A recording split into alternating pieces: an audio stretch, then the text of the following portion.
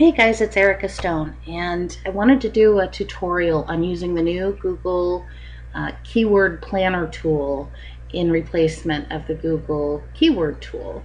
Uh, I know some people are a little worried they won't be able to use it the same way. It's really pretty simple, and you get much of the same information that you got before, but in a different format.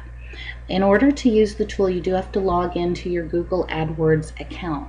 It's free to have a Google AdWords account, and uh, once you're in there, you would click on the Tools and Analysis tab in the green bar and select the Keyword Planner.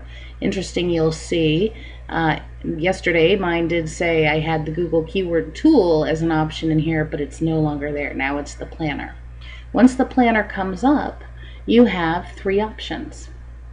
You can search for a keyword and ad group ideas, which was similar to the Google keyword tool before. You could enter or upload a list of keywords, a whole a set of keywords. You can actually paste in. Uh, I think it's up to eight, eight up to 999 or some keywords in, at one time, and have it run the analysis or you can actually import or create um, lists by combining different kinds of keywords to see what comes up.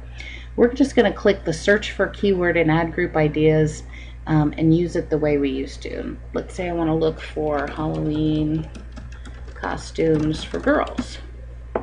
Um, it has a landing page box and that you would use if you wanted to do some keyword research on your own site or on another site and see what, the, what keywords Google suggests for a different page online. Or you could enter a category. Um, but I just want to look for some ideas for this particular phrase. Now down here I can change, I can click on any of these boxes and change the selections for country and targeting. You can click on the box again to shrink it. I could change my language preference. I can click on Google and look at Google and search partners. I use just Google. Um, I can take out, uh, add negative keywords. If I don't want free, uh, I don't want keywords that have the word free in them. If I don't want do-it-yourself costume ideas, if I don't want homemade, I can just add those in the box and then click in the top here to shrink the box again. I can add filters and say I only want keywords that have greater than or equal to 100 searches a month. The Google Keyword Planner will automatically default to showing you exact search volume for your phrase. So I could add this filter. Um, I could, you know, if I have, if I want to add these additional filters, you know, show adult ideas or show keywords in my count or keywords in my plan. If I were working on an AdWords campaign, I could do that. I could also have it include or exclude certain words in the results. If I don't, you know, I'm looking for Halloween costumes for girls. If I don't want to see phrases that include the word boy, I could put it in there.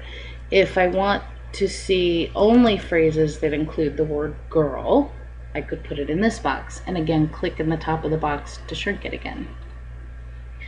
And then I would click uh, get ideas. It will default to bringing you to the ad group ideas, which is uh, perhaps more useful to those running an AdWords campaign. But for those of us doing keyword research, I like the keyword ideas tab, so I'm going to click on that. Now, the problem is the screen seems to be uh, more compact. So my data is here in this middle section, but I can't see a lot of it at once. I can scroll through the list, but look, I can't even see the word. I can't even see the, the phrase over here. Um, and I haven't exactly figured out how to fix that part other than I simply download the data from here and then I can look at it in a spreadsheet on my computer and it's much easier to read and organize the data that way. But you do get, you know, all of the same information. So this was my main keyword and if you hover over that first letter there, sometimes it doesn't do this. Sometimes you actually see the whole word, sometimes you don't. It says Halloween costumes for girls. The next piece, if you hover over this little chart icon, will give you the month by month segment uh, search traffic data. So I can see, um, you know, August had 5,400 searches and September had 22,000 and October peaks at 33,000 and then whoop, we drop way back down because it's obviously a seasonal keyword. The next num this number is your exact monthly search volume. This competition column is the competition for AdWords data. It's the number of advertisers um, that were bidding, uh, or the level of competition on advertisers bidding for this keyword in AdWords, and does not pertain to search engine optimization or search engine uh, SEO competition. Then there's some cost per click information. Again, that's AdWords and some impression share. But the ideas that were on my list are all down here. You just have to hover over here to see the phrase toddler, girl, Halloween costume, etc. But uh, like I said, I download the data. And when you click on the download button, you get an option. If you want to see the month by month search volume traffic, you must click segment statistics by month. And then I uh, download it to Excel in a CSV format. It will tell me I have 76 ideas. Um, my download is now available. Click to retrieve it and that should pop up with allowing me to open the data in Excel or your spreadsheet of choice. Uh, and now I can move the columns out so I can see what these keywords were. Halloween costumes for girls, girl Halloween costumes, etc. And then it, I get rid of these columns that are meaningless now. I don't need to know that they came from keyword ideas, so I can delete that. I don't need to know the currency was US dollars. Uh, and then I can expand this row so I can read the monthly information wrapping the text. So now I know this was August search volume from 2012, September, etc. Um, I don't need the competition uh, column here, the average CPC, but now I can see search volume traffic. I can see the phrases that came up.